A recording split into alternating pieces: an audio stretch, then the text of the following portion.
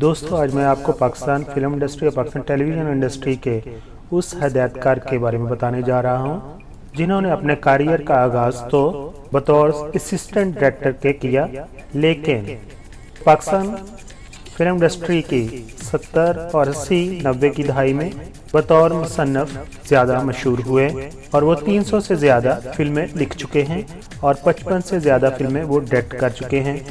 بیسویں صدی کے آخری پانچ سال تو ان کے لیے بہت ہی مبارک ثابت ہوئے ہیں، جب انہوں نے اوپر تلے اپنی ہدایتکاری میں درجنوں فلمیں ریلیز کی ہیں۔ جی ہاں میں بات کرنے جا رہا ہوں۔ پاکستان کے مشہور و معروف ڈائریکٹر سید نور کی۔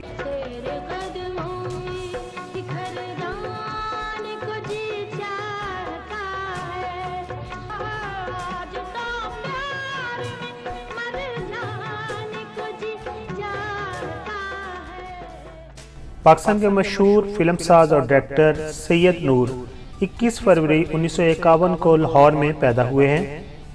سید نور صاحب کا مکمل نام سید غلام میودین نور ہے۔ آپ کا تعلق لاہور کے ایک مشہور و معروف سید خاندان سے ہے۔ آپ کے بہن بھائیوں کی بات کریں تو آپ کی تین بہنیں اور آپ دو بھائی ہیں۔ آپ اپنے گھر میں سب سے بڑے ہیں۔ یہی وجہ ہے کہ ماں باپ کی وفات کے بعد آپ نے بہن بھائیوں کی کفالت کی ہے۔ سید نور صاحب کی اگر ایجوکیشن کی بات کریں تو آپ نے ابتدائی تعلیم جو ہے شروع میں مسجد سے حاصل کی ہے۔ اس کے بعد آپ کو پرائمری اسکول میں داخل کرا دیا گیا اور پھر بعد میں ہائی اسکول میں۔ اور بیچلر آف آرٹس کی ڈگری آپ نے دیال سنگھ کالج لاہور سے حاصل کی۔ سید نور صاحب کا بچپن جو ہے میکلور روڈ لاہور کے آس پاس گزرا ہے۔ دوستو، اب اس قصہ کی طرف آتے ہیں کہ سید نور نے بطور اسسٹنٹ ڈائریکٹر کیسے ورک شروع کیا اور ان کو ابتدائی زندگی میں کیا کیا مسائل سے گزرنا پڑا۔ سن انیس سو ستر کا تھا اور آپ نے اپنے فنی کیریئر کا آغاز بطور اسسٹنٹ ڈائریکٹر کیا۔ آپ نے اس وقت پاکستان فلم انڈسٹری کے مایا ناز ڈائریکٹر ایس سلیمان کو جوائن کیا۔ ایس سلیمان کے پاس پہلے بھی بطور اسسٹنٹ ڈائریکٹر کوئی آٹھ سے نو بندے کام کر رہے تھے۔ اور آپ آخر پر تھے اور عمر میں بھی آپ چھوٹے تھے۔ ایک دن ایس سلیمان ایک فلم کے سیٹ پر موجود تھے اور وہاں پر محمد علی صاحب نے کوئی سین ریکارڈ کروانا تھا کہ سیٹ کے اوپر پانی گر گیا۔ تو ایس سلیمان نے کہا کہ جلدی سے کلینر کو بلاؤ اور وہ لڑکا آ کے اس کو کلین کرے تاکہ ہم اپنی شوٹنگ سٹارٹ کر سکیں۔ مگر کلینک کرنے والا لڑکا مل نہ سکا، وہ کہیں دوسری جگہ پر مصروف تھا۔ تو سید نور صاحب نے ایس سلیمان کی پریشانی کو دیکھتے ہوئے فوراً اپنا سویٹر اتارا اور اس سے فرش کے اوپر گرے ہوئے پانی کو صاف کر دیا۔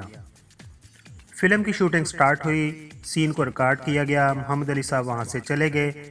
تو ایس سلیمان صاحب جب اپنے آفس میں پہنچے تو انہوں نے اپنے اسسٹنٹ ڈائریکٹرز کو کہا کہ اس لڑکے کو بھی بلاؤ، جس نے اپنے سویٹر سے فلم کے سیٹ کا فرش صاف کیا تھا۔ تو تب سید نور صاحب کو بلایا گیا اور ایس سلیمان صاحب نے ان سے کہا کہ جس طرح تم نے آج سیٹ کے اوپر اپنے سویٹر سے فرش کو صاف کر دیا، اس کا مطلب تم اپنے کام کے ساتھ دل سے محبت کرتے ہو اور اس کام کو سیکھنا چاہتے ہو۔ اور جب انسان اپنا کوئی گول رکھ لیتا ہے تو اس کو اچیو کرنے میں چھوٹے بڑے سب کام کرنے پڑتے ہیں۔ اس واقعہ سے پہلے کبھی ایس سلیمان صاحب نے ڈائریکٹلی سید نور صاحب سے بات نہیں کی تھی، کیونکہ ان کے پاس آلریڈی کافی سارے اسسٹنٹ ڈائریکٹر موجود تھے اور آپ ان میں سب سے جونیئر تھے۔ دوستو، سید نور نے ایس سلیمان کو ان کی اٹھارہ فیچر فلم میں بطور اسسٹنٹ ڈائریکٹر اسسٹ کیا۔ سید نور صاحب نے انیس سو چھتر میں ایک فلم کی کہانی لکھی اور اس کہانی کو اداکارہ سنگیتا کے والد اور والدہ کو سنایا، انہوں نے پسند کیا اور اس پر فلم بنانے کے لیے ہاں بھی کر دی۔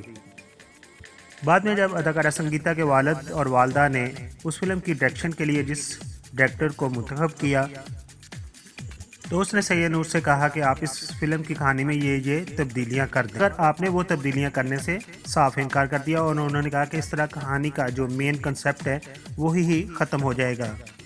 اور اس طرح یہ فلم بننے سے پہلے ہی رک گئی۔ لیکن کچھ مہینوں کے بعد فلم بہاروں کی منزل کی شوٹنگ کے دوران سید نور کی دوبارہ ملاقات اداکارہ سنگیتا سے ہوئی اور سنگیتا نے کہا کہ آپ نے جو اس وقت کہانی سنائی تھی وہ بہت دلچسپ ہے اور آپ نے موقع کی مناسبت سے سنگیتا صاحبہ کو کہا کہ کیوں نہ آپ اس فلم کی ڈائریکشن دیں اور میں آپ کو اسسٹ کروں گا اور میں نے کہانی لکھی بھی ہوئی ہے اور مجھے اس کا مین کنسیپٹ بھی پتہ ہے۔ اس طرح سید نور نے انیس سو چھہتر میں فلم سوسائٹی گرل لکھی، اس کو ڈائریکٹ کیا۔ اداکارہ سنگیتا نے اور as assistant director Syed Noor نے اس میں کام کیا۔ اور جب یہ فلم ریلیز ہوئی، اپنی منفرد کہانی اور ڈائریکشن کی وجہ سے انیس سو چھہتر کی بیسٹ فلم قرار پائی۔ اور سید نور کو انیس سو چھہتر میں فلم سوسائٹی گرل کے لیے بیسٹ رائٹر کا ایوارڈ بھی دیا گیا۔ میری ایک چھوڑ جائے گا۔ اور جب اس نے بھی تمہارا ساتھ چھوڑ دیا تو تم پھر کس کا سہارا لوگی؟ کسے بیچو گی؟ اپنی رودری لاش کو یا مونا کو؟ مونا! اور یہ فلم ان کی زندگی میں ایک دلچسپ تبدیلی لے کے آئی اور اس کے بعد وہ فلمیں لکھنے لگ گئے اور انہوں نے انیس سو چھہتر سے لے کے انیس سو بنوے تک تین سو سے زیادہ فلمیں لکھ چکے ہیں اور پچپن سے زیادہ فلمیں وہ ڈیٹ کر چکے ہیں۔ انیس سو ترانوے میں آپ نے ایک دفعہ پھر بطور ڈائریکٹر اپنے کام کو شروع کیا اور انہوں نے فلم بنائی قسم۔ فلم قسم میں آپ نے نیلما حسن اور سلیم شیخ کو ایز اے ہیرو اور ہیروئن لیا۔ آپ کی بطور director film Qasam box office پر کامیاب رہی۔ اس کے بعد بطور ڈائریکٹر آپ کی دوسری فلم جیوا تھی۔ فلم جیوا اپنی اچھوتی کہانی ڈائریکشن اور بڑی کاسٹ کی وجہ سے سپر ہٹ ثابت ہوئی اور آپ پاکستان کے منجے ہوئے ڈائریکٹروں کی صف میں شامل ہو گئے۔ اداکار سلطان رائی کی ڈیتھ کے بعد سید نور نے محسوس کیا کہ پنجابی فلم دیکھنے والے سینما سے دور ہوتے جا رہے ہیں۔ تو آپ نے اپنی ڈائریکشن کا رخ پنجابی فلموں کی طرف کر دیا اور آپ کی فلم چوڑیا اپنی کہانی گانوں کی وجہ سے آج بھی لوگ دیکھنا پسند کرتے ہیں اور اس کے گانے سننا پسند کرتے ہیں۔ آپ کی دوسری چند مشہور فلموں کے نام کچھ اس طرح ہیں۔ بجاجنا جھومر، ووٹی لے کے جانی ہے اور ایک اور اردو سپر ہٹ فلم ہے سرگم، شولے، باغی، سپنے اپنے اپنے، کمانڈو، گونگٹ، ایک اور غازی، چین نہ آئے، آئینہ ٹو وغیرہ شامل ہے۔ سید نور صاحب کا پاکستان فلم انڈسٹری کے ان لوگوں میں شمار ہوتا ہے، جنہوں نے ہمیشہ انڈین فلم کو پاکستان میں چلانے کے بارے میں اعتراضات اٹھائے ہیں۔ ان کا کہنا ہے کہ انڈین فلموں کا بڑا بجٹ ہوتا ہے اور ہماری فلموں کا بجٹ اس کے مقابلے میں بہت کم ہوتا ہے۔ وہ کہتے ہیں کہ انڈین فلم پاکستان کے قانون انیس سو پینسٹھ کے مطابق چل ہی نہیں سکتی۔ تو پھر کیوں چلائی جاتی ہے؟ انڈین فلم والے کروڑوں میں فلم بناتے ہیں، جبکہ ہم ایک کروڑ کی فلم بناتے ہیں۔ سید نور صاحب نے یہ بھی محسوس کیا کہ پاکستان میں کوئی باقاعدہ اکیڈمی نہیں ہے جہاں پر لوگوں کو ایکٹنگ، فلم ڈائریکشن یا ڈائریکشن کے بارے میں بتایا جائے۔ تو آپ نے ایک اکیڈمی بھی بنائی ہے۔ اکیڈمی کا نام ہے پاپا یعنی کہ Paragon Academy of Performance Arts. اس کے علاوہ آپ پنجاب یونیورسٹی کے ماس کمیونیکیشن ڈپارٹمنٹ میں پاکستان کی نئی جنریشن کو فلم میکنگ تکنیک بھی پڑھاتے ہیں۔ دوستوں اگر بات کریں سید نور کے ایوارڈز کی، تو آپ نے کئی ایک Nigar award graduate award national award کے علاوہ آپ کی خدمات کو سراہتے ہوئے حکومت پاکستان نے آپ کو ستارہ امتیاز سے نوازا ہے۔ دوستوں اب بات کرتے ہیں سید نور کی ازواجی زندگی کی۔ تو آپ نے انیس سو چوراسی میں رخسانہ نور سے شادی کی۔ رخسانہ نور کے بارے میں سب جانتے ہیں کہ وہ ایک بہترین شاعرہ تھیں اور صحافی بھی تھیں۔ رخسانہ نور صاحبہ کی ڈیتھ ہو چکی ہے اور آپ نے دوسری شادی پاکستان فلم انڈسٹری کی مشہور و معروف اداکارہ سائمہ سے کی ہے۔ اداکارہ سائمہ سے آپ کی کوئی اولاد نہیں، مگر آپ کی پہلی بیوی رقصانہ نور سے آپ کا بیٹا شازل اور بیٹیاں ہیں۔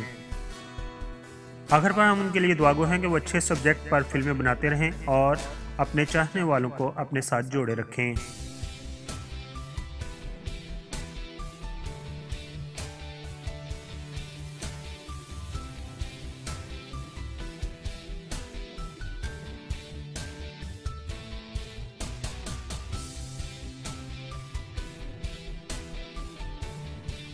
دوستو، اگر آپ کو یہ بایوگرافی پسند آئی ہے، اگر آپ میرے چینل پر نئے ہیں، تو پلیز مجھے اپنا پیار دیجیے اپنی محبت دیجیے اور میرے چینل کو سبسکرائب کیجیے آپ تمام دوستوں کا بہت بہت شکریہ۔ بہت سارا اپنا خیال رکھیے۔ Thank you so much